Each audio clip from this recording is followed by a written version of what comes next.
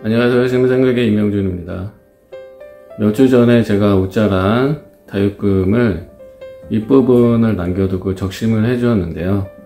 적심을 해주고 나서 시간이 지나면서 지금 보여드리는 것처럼 새로운 자구들이 나오고 있는데요. 새로 나온 자구들 중에서 흰색 올금 자구가 나오고 있어서 오늘 보여드리도록 하겠습니다. 지금 보게 되면 화분에 선목을 해준 적심을 해주었던 자구 빵가래 금이고요.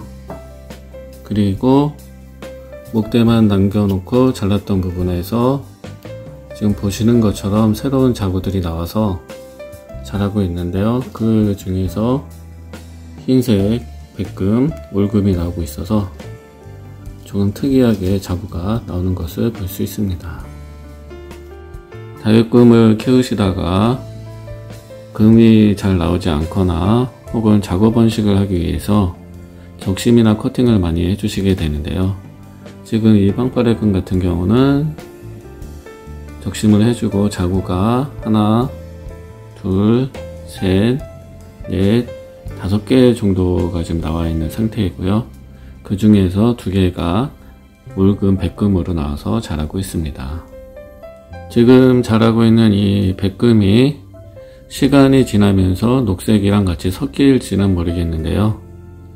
이 백금은 좀 더 크게 되면 따로 커팅을 해 주어서 크게 삽목을 해줄 예정이고요.